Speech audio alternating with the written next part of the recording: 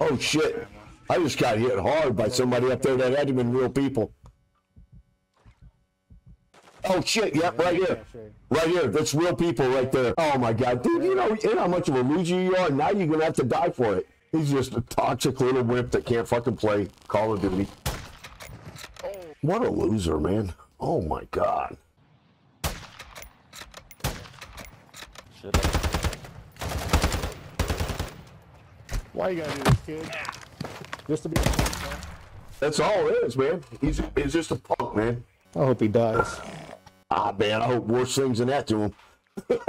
Chris, what's going on now? You just missed it, man. We had some fucking can't play fucking Call of Duty punks You need to fucking punk us in fucking goddamn DMZ because they fucking losers, man.